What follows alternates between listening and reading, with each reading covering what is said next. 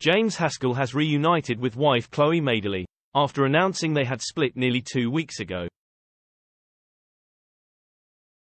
The 38-year-old was seen with Chloe for the first time since their split as they stepped out with their 15-month-old daughter Bodhi. The I'm A celebrity star took to his Instagram to share a picture of the three for his 577,000 followers. In the picture, James can be seen looking into the camera as Chloe holds Bodhi in her arms and looks out into the distance. He captioned it, Team Bodhi. The cutest bear, while also tagging his ex. The pair announced their separation in October, after five years of marriage.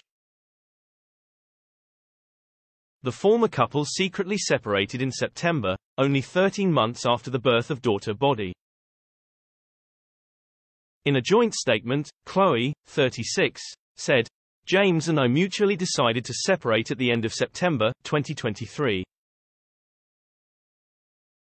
We had not planned on releasing a statement at this time, certainly not while the television show was airing, but constant speculation about our marriage has, unfortunately, forced our hand. Become an Express Premium member support fearless journalism read the Daily Express online, Advert free get super fast page loading start 30 day free trial beyond this statement. We will not be speaking about this matter publicly, and we would request privacy at this time.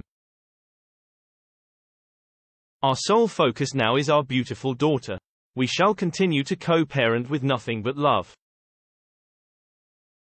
They met in 2014 when James invited her to be the face of a female fitness supplement line and started dating shortly after. They announced their engagement in April 2018 after going public in a Hello magazine photoshoot. Chloe revealed she was speechless after he got down on one knee in Paris. The only four people who knew were their parents. The two got married during Christmas 2018 and they welcomed Bodhi in August 2022. Earlier this week, they reunited on social media to share a video of Bodhi having fun in a car. James was heard commenting behind the camera as Richard Madeley and Judy Finnegan's daughter cheered on and high-fived their little girl as she drove past.